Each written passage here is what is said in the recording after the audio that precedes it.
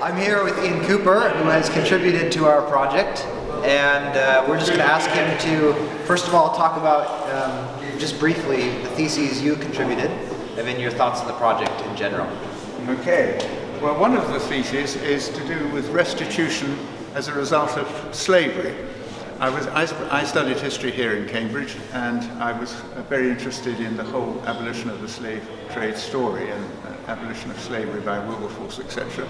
And I was always struck that the slave owners were compensated for abolishing slavery in the 1830s with 20 million pounds, which was a lot of money in those days. But the slaves who you thought might get compensation got not a penny. Yeah. okay. So I thought to myself, well, maybe this would be a good gesture to pay 20 million pounds in modern money um, to the West Indies. And it's, of course, it's a bit controversial because the whole idea of reparations making a current generation pay for the sins of a previous, pre several generations ago, is, is, you know, controversial.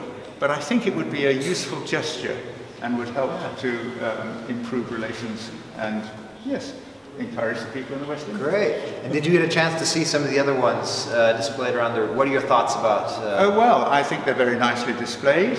Um, uh, it's good to get a terrific range. It's not just yeah. politics, it's environment, it's health, it's education, it's a whole range of things yes. which we're seeing here. So uh, I think it's good for people to think about these uh, from Christian perspective, any perspective, but lots of non-Christians I think would find this uh, worthwhile. Wonderful. Thank you so much, Ian. Okay.